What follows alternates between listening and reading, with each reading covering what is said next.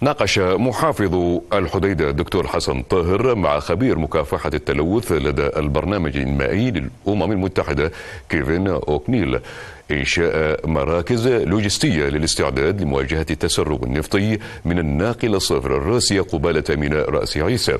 وخلال الاجتماع جرى البحث عن موقع لإنشاء المركز اللوجستي الذي سيتم منه الاستعداد لمكافحة التلوث النفطي في البحر في حال حدوثه من الناقل الصفر وأوضح الخبير الدولي أهداف وخطة اللجنة لإنشاء مراكز لوجستية لإمداد عمليات مكافحة التلوث المحتمل.